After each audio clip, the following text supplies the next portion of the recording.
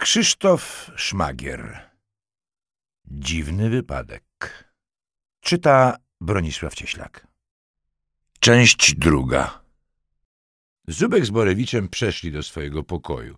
Stały w nim blisko siebie dwa jednakowe biurka, a przy nich dwa zielone krzesła.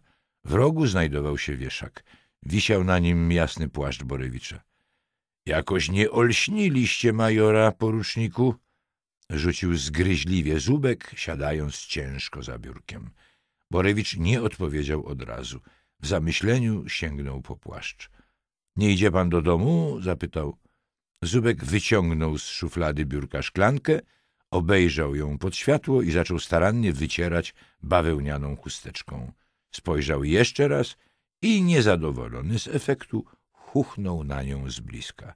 — Nie, mam dyżur — odparł. — A jakby ukradli zaplanowany przez was samochód — spojrzał spod oka — to gdzie mam was szukać? W Bristolu? W kamieniołomach? Czy może wyjątkowo będziecie w domu na przykład sprzątali? Borewicz nie odzywał się. Stał już w płaszczu i przerzucał jakieś teczki na biurku. Aha, przypomniał sobie Zubek, był telefon. Dzwoniła jakaś Małgosia i kazała, żebyście zadzwonili do niej przed szóstą. To nie mógł pan wcześniej powiedzieć? Zdenerwował się Borewicz. Zubek wyciągnął spod biurka czajnik elektryczny i w skupieniu zaczął nalewać wrzątek do szklanki. W ogóle to za dużo tych telefonów na służbowy numer. Spojrzał na Sławka karcąco. Borewicz podniósł tymczasem słuchawkę i wykręcił numer. Moglibyście się, poruczniku, wreszcie ożenić, gderał Zubek. To w końcu nie banał, że małżeństwo jest podstawową instytucją społeczeństwa. Tylko wie pan, jak czasem trudno dogadać się z instytucją? Parsknął Borewicz. A, jeszcze jedno. Zubek zmarszczył brwi, próbując coś sobie przypomnieć. Mówiła, że mam powiedzieć kapusta. Spojrzał pytająco na Sławka. Jeśli to NW, to niech dzwoni z hasłem na spezlinię. Borewicz uśmiechnął się pod nosem. Cześć, słońce, roześmiał się do słuchawki. Bez ciebie noc taka pusta. Zaakcentował ostatnie słowa. Tutaj nie wszyscy to rozumieją. Nie mógł opanować chichotu. Zubek zamarł ze szklanką w ręce. Był oburzony. To już szczyt wszystkiego. Prywatne nieprzyzwoitości po służbowej linii. Magistrowie w milicji. To są skutki. Burknął. Oficer dyżurny, nie spuszczając wzroku z monitorów nadzoru, sięgnął po słuchawkę i wykręcił numer wewnętrzny. Porucznik Zubek, słucham, usłyszał. Na Sobieskiego mamy wypadek, potrącenie pieszego. A co ja mam do tego? Zasapał z niechęcią Zubek. Drogówka się tym zajmuje. Niedługo, jak krowa zdechnie na moście, to będziecie dzwonić do sekcji zabójstw.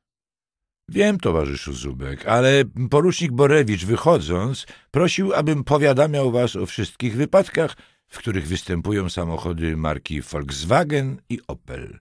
Z tym, że to jakaś dziwna sprawa. Chrząknął. Rozumiem, powiedział niechętnie Zubek. Powiadomię porucznika Borewicza i zaraz tam przyjadę. Podstawcie coś na bramę. Była głęboka noc. Na zakręcie szosy do Wilanowa okoliczne drzewa oświetlały błękitnie pulsujące światła radiowozów. Na sygnale podjechała milicyjna Nysa.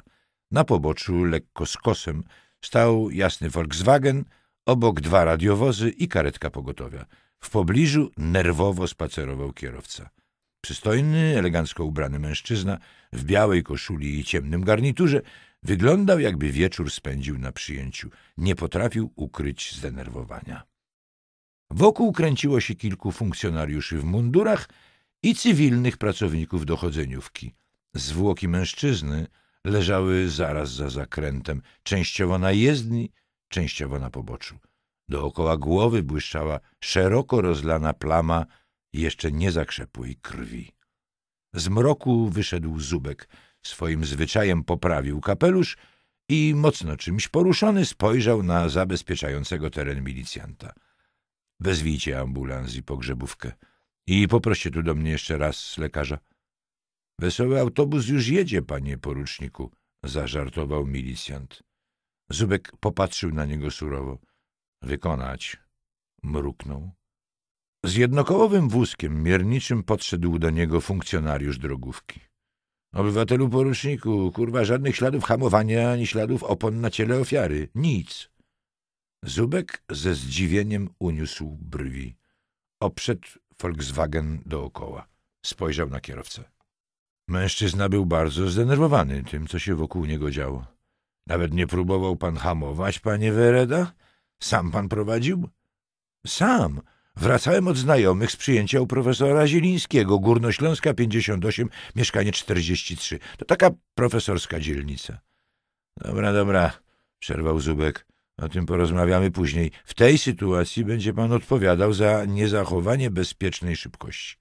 Bezpieczna szybkość, wybuchł mężczyzna. Idiotyczne pojęcie wymyślone przez ludzi nienawidzących motoryzacji. Facet wyskakuje metr przed samochodem, to nawet gdybym jechał trzydzieści na godzinę i tak kretyna przejadę. Zubek słuchał ze zniecierpliwieniem, co chwilę zerkając na pobliskie krzaki. Proszę poczekać, przerwał. Zaraz pana jeszcze poproszę. Utrzymuje pan, że jechał sam? Tak, z całą pewnością. I nikt inny nie uległ wypadkowi? Nie, stanowczo potwierdził Wereda. A o co chodzi? A to ciekawe, mruknął Zubek, zastanawiając się nad czymś głęboko. Pan pozwoli ze mną? Wskazał głową kierunek. Ruszyli przez krzaki. Wereda szedł za Zubkiem, nie rozglądając się. Tędy, proszę. Zubek poświecił latarką. Zatrzymali się. Co to za dziewczyna? Znają pan? Zapytał ostro. Wereda stał zaskoczony.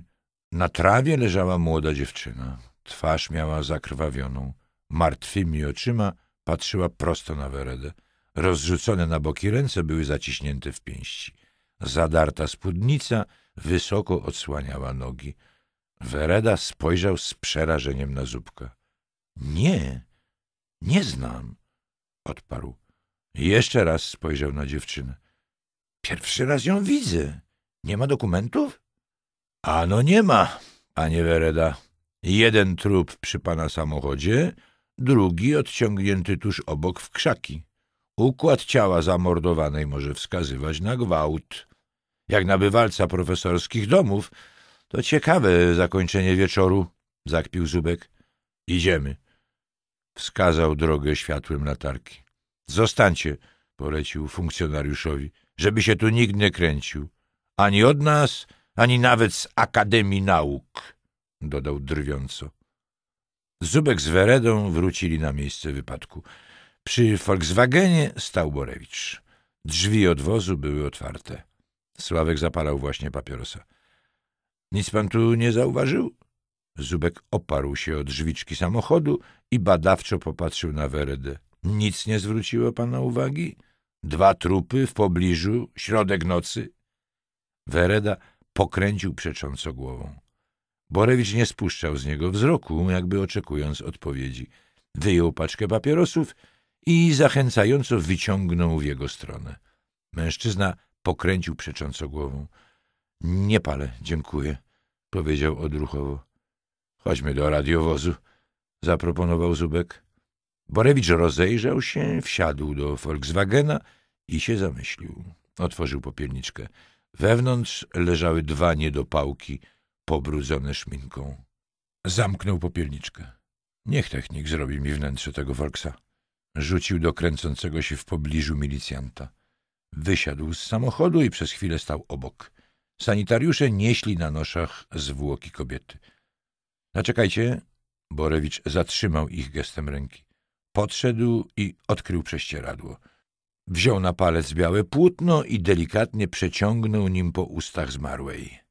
Obejrzał dokładnie materiał i przykrył zwłoki. Dziękuję. Skinął głową w kierunku sanitariuszy. Niech ją zaraz zdaktyloskopują i niech pobiorą ślinę i krew. Wereda czekał na uboczu. Podobno twierdzi pan, że jechał sam? zapytał Borewicz. Tak, skinął głową Wereda, ale już bez poprzedniej pewności siebie. Ciekawe, mruknął porucznik. Mężczyzna spojrzał na niego speszony. Borewicz ponownie podszedł do Volkswagena. Dwóch techników dochodzeniowych dokładnie sprawdzało wóz.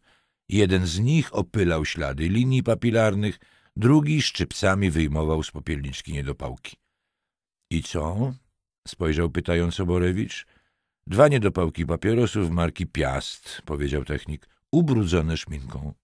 Schował je do koperty i włożył do walizki. — A z przodu? — zainteresował się Sławek. — Żadnych śladów uderzenia. Błotniki ubłocone, nawet kurz nie starty — odparł milicjant i dalej pisał w notesie. Coś mi tu nie pasuje. Pokręcił głową. Borewicz rozejrzał się po miejscu wypadku. Elementy układanki w ogóle do siebie nie pasowały. Nie wiedział, od czego zacząć. Koniec części drugiej. Przejdź do części trzeciej.